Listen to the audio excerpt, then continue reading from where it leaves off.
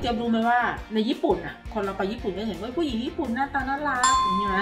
สวยจังผิวขาวจังเนอะรู้ไหมว่าผู้หญิงญี่ปุ่นอะ จังหวัดไหน สวยที่สุดอ่า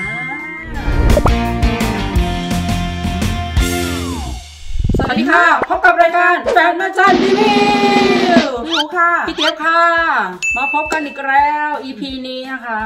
พี่เจี๊ยบรู้ไหมว่าในญี่ปุ่นอะ คนเราไปญี่ปุ่นก็เห็นว่าผู้หญิงญี่ปุ่นหน้าตาน่ารักอย่างนี้ไหมอืมสวยจัง ผิวขาวจังเนอะรู้ไหมว่าผู้หญิงญี่ปุ่นอะ จังหวัดไหน สวยที่สุด อ่า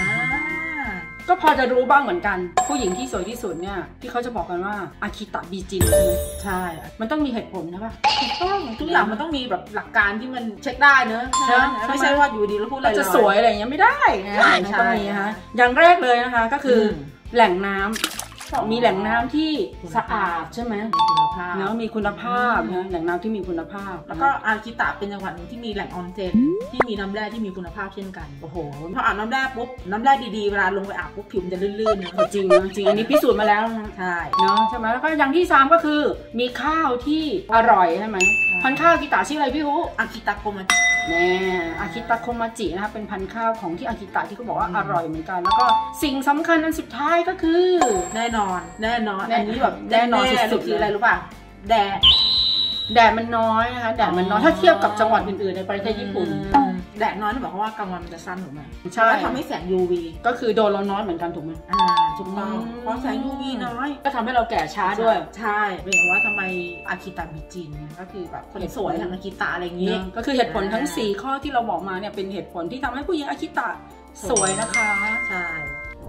จังหวัดที่สองนะคะที่ผู้หญิงญี่ปุ่นนะที่สวยๆอยู่ในอ่าจังหวัดนี้เยอะเหมือนกันก็คือจังหวัดเกียวโต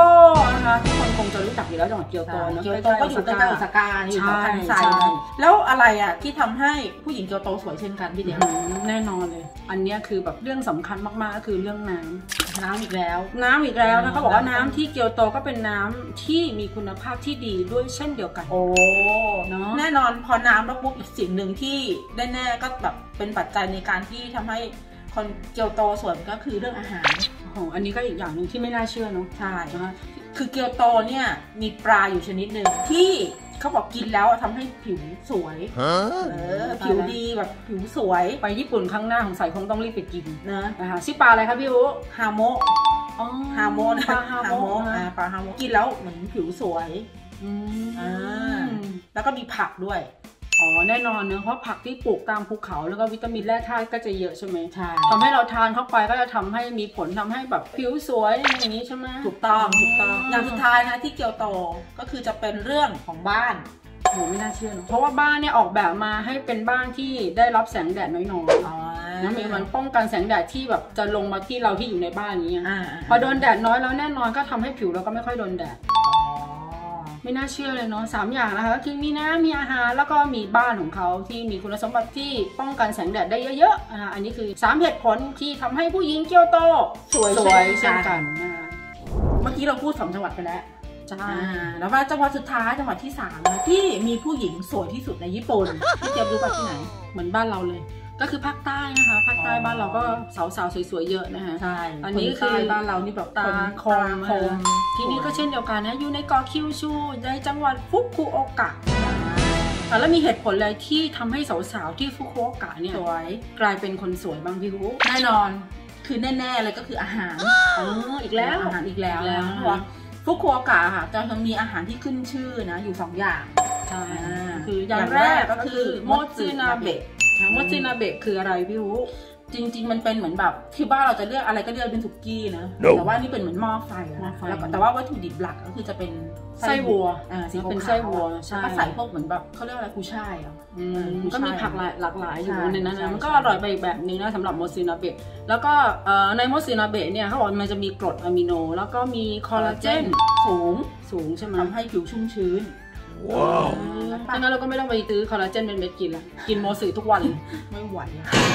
อ่าต่อไปนะคะ พอพูดถึงโมสึนาเบะแล้วอีกอย่างหนึ่งที่ต้องคิดถึงในเรือไปฟุกุโอกะก็คือไม่พลาดเลย เมนไทโกะนะคะอ่าหรือว่าไข่ปลาคอดนั่นเองอ๋อไข่ปลาคอดก็คือกินดิบๆได้เลยถ้าคนชอบใช่มีแบบธรรมดาแบบเผ็ดก็มีใช่มีหลากหลายรสชาตินะคะก็โอกาสหน้าที่มีโอกาสได้ไปที่ฟุกุโอกะนะก็ลองไปซื้อเมนไทโกะมาชิมได้คือเมนไทโกะเขาบอกว่ามีสารแคปไซซินสารแคปไซซินมันทำให้เหมือนพวกสลายไขมันนะคะ พอมีสารพวกนี้ก็ทำให้ไม่อ้วนเลยดี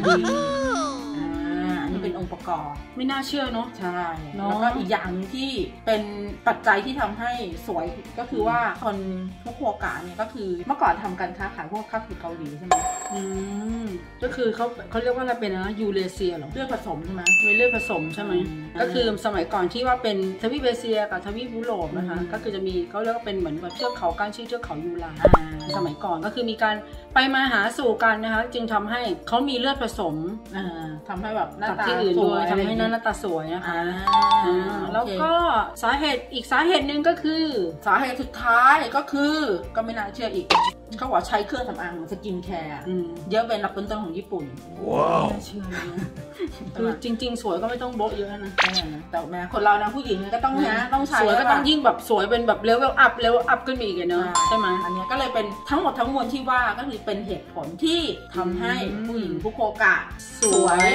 นะคะไม่แพ้เกียวโตและและอากิตะอ่านะคะ อันนี้ก็คือใช่เป็นผู้หญิงที่สวยสามจังหวัดนะคะที่ที่เขาเรียกว่าขึ้นชื่อใช่ไหมขึ้นชื่อขึ้นชื่อขึ้นชื่อของประเทศญี่ปุ่นนะคะ มีใช่สามที่นะคะใช่ถ้าโอกาสหน้าผู้ชายหนุ่มๆ คนไหนสนใจนะคะจะไปดู